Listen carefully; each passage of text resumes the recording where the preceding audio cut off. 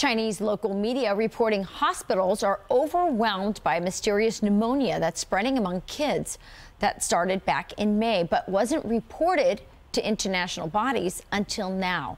Even U.S. Ambassador to Japan, Rahm Emanuel, is sounding the alarm, posting in, on X, quote, China's recent pneumonia outbreak raises serious questions. It's time to abandon COVID deception and delays as transparent and timely information saves lives.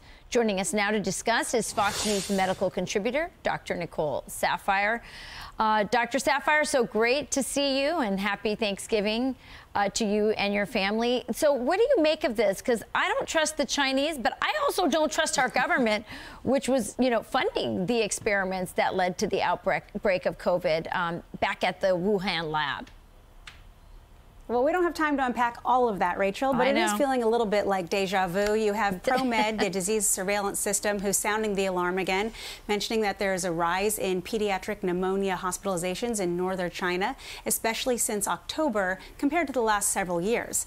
Now, again, Rachel, this is kind of emulating what we saw in the United States, the UK, and other places last year in countries who removed some of those harsh lockdown restrictions earlier than China. We had this large immunity gap where people, especially children's immune systems were damped dampened from those COVID lockdowns and other restrictive measures. So we saw a rise in hospitalizations and just outpatient cases of the usual suspects RSV, influenza, adenovirus, and mycoplasma pneumonia. Now, China is saying it is those usual suspects, those common pathogen that's, that are causing their rise in illness in northern China. The problem is, Rachel, as you said it, uh, we don't trust China. China, the World Health Organization, they were deceitful when it came to COVID 19.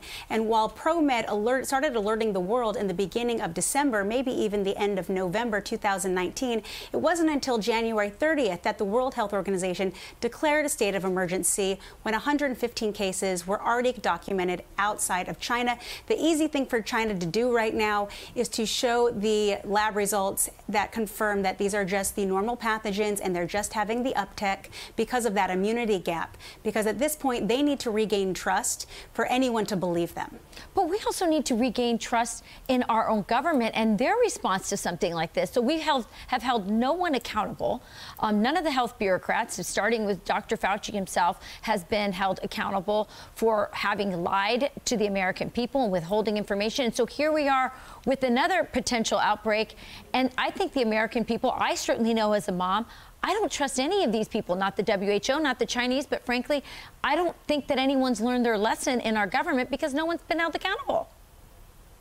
No, I agree with you. There hasn't been an urgency to hold people accountable. We've had a plethora of hearings, but there has actually been no action right. to make sure that people are punished for their misdoings. But all I can say as a mother, you know this as well, the best we can do is to try and live our happiest and healthiest lives. And that's making sure our kids are getting good physical activity, good nutrition, and you as an individual decide what is right for your child going into these fall and winter months. There's always going to be a rise in infections. So try to keep them as healthy as possible um, to prepare because everyone's going to get sick. It just happens.